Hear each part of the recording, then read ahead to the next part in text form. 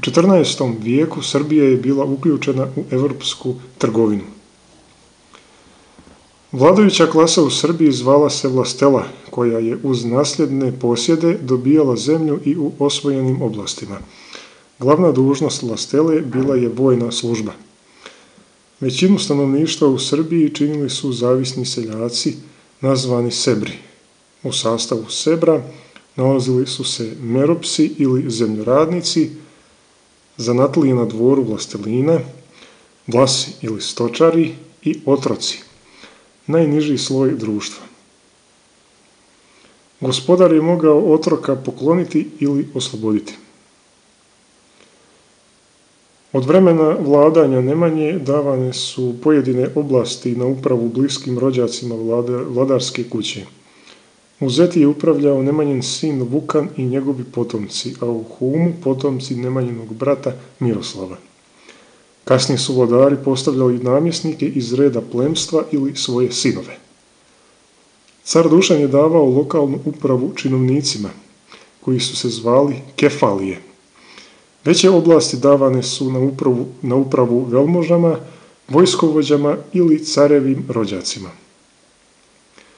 Državna teritorija bila je podijeljena na Romaniju, to jest osvojene vizantijske oblasti koje je car zadržao za sebe i Srbiju, i Srbiju, kojom je formalno vladao sin Uroš, njegov sin Uroš. Vrhovnu sudsku vlast imao je vladar. Sudsku vlast nad kmetovima imali su feudalci koji su izricali razne globe. Da bi uveo red u državi i učvrstio feudalni poredak, car Dušan je na dva državna sabora 1349. i 1354. proglasio zakonik, kasnije nazvan Dušanov zakonik, koji sadrži odredbe iz raznih oblasti prava. Zakonik sadrži članove o crkvi, kojoj je dat veliki značaj i uticaj u državi. Te članove o dužnostima vlastele i kmetova, o načinu suđenja i pravu sudija, o kaznama za razne vrste krivičnih dijela. Za iste prestupe nisu bile iste kazne za vlastelina i kmeta. Ako, na primjer, vlastelin opsuje sebra, trebao je da plati 200 perpera ili srpskog novca, a ako Sebr opsuje vlastelina, morao je da plati 200 perpera i da ga biju po tabanima. Stvaralci duhovnih dobara u Srbiji stvarali su za crkvu vladare i donekle vlastelu. O kulturi narodnih masa nije ništa poznato. Jedino su razne svečanosti, običaji, obredi, igre, narodne pjesme i usmena predanja imali značajnu ulogu u životu. U gradovima su značaj imale junačke igre i nadmetanja, a kod vlastele gozbe i veselja. U starim tekstovima pominju se glumci, nazivani još i špilmani, koji su kroz muziku i igru zabavljali vladare ili velikaše.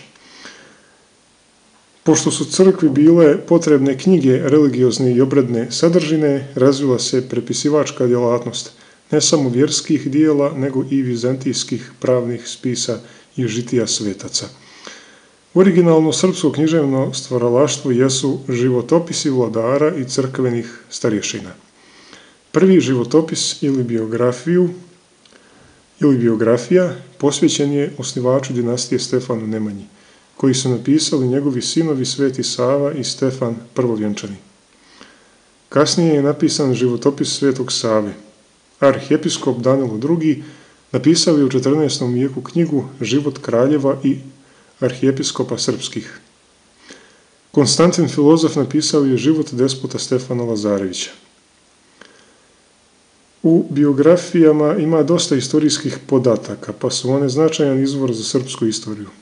Osim biografija pisani su ljetopisi, rodoslovi, zapisi i pohvale.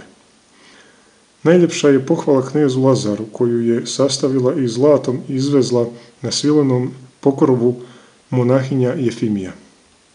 Pisi biografija slavili su vladare i crkvene stariješine zbog pobožnog i pravednog života. Od srpske srednjovjekovne arhitekture sačuvane su samo crkve, manastiri i tvrđave. Srpski vladari, počev od Nemanje, smatrali su za dužnost da podižu crkve i uz njih smještaj za monahe. Tako su uvijek imali podršku crkve. Arhitektura iz doba Nemanjića posebnog je stila, nazvana Raška škola, jer se najviše takvih spomenika nalazi na tlu stare Raške. Stil Raška škola jesu kombinovani istočni i zapadni elementi. Osnova je ugaona sa polukružnim završetkom na istočnoj strani. Lukovi su obličasti, a otvori polukružni kao kod romanskih građevina.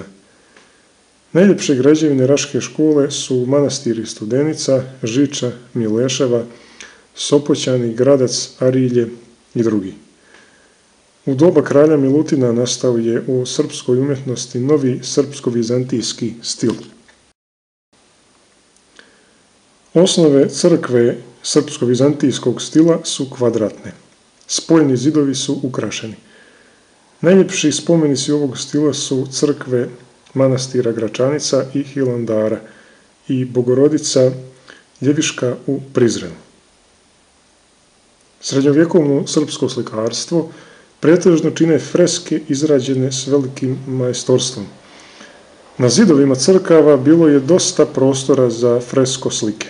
Teme zidnog slikarstva bile su određene tradicijom i crkvenim propisima.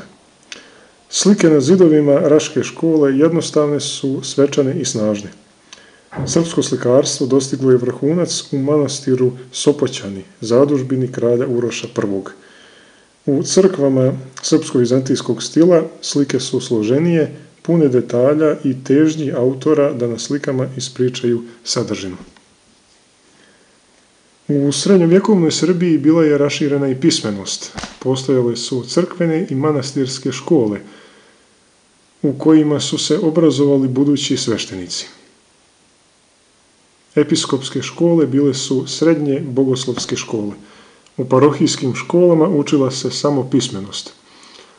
Postojale su i dvorske škole za vlastelinsku djecu i jedna djevojačka škola na Kosovu.